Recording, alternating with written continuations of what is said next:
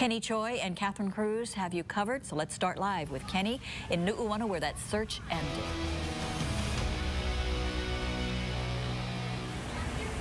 Paula, we're here on Lelehua Lane near this Chevron gas station right behind me where authorities say that they caught Daniel Skelton late this afternoon, shortly after 4 o'clock. They had been in this area all morning long, searching and even sending out tweets to the public warning them that Skelton could be in this lower Nu'uanu area. We talked to one resident who lives inside this building.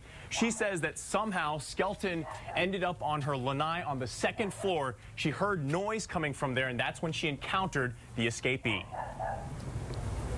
His face was painted black, yeah. Oh, painted black. Painted black, and, he, and I recognized the orange hair from, from the news. Um, so what he did was he was on the balcony. I saw him through the window. I came outside. I said, what are you doing? Um, he turned away and he said, can I use your bathroom? And I said, no, you need to leave. Um, so he just jumped off onto that ledge, down onto the other one, onto the ground, and then back behind my neighbor's house.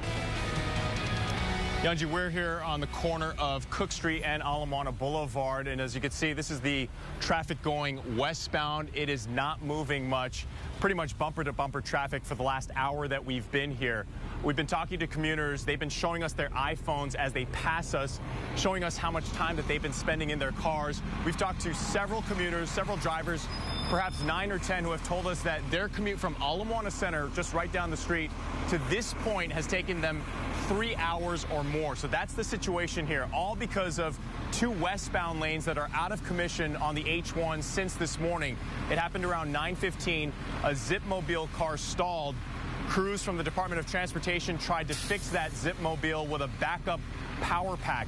But when they tried to do that, both power packs malfunctioned and they did not have any more to fix those two Zipmobiles that they have.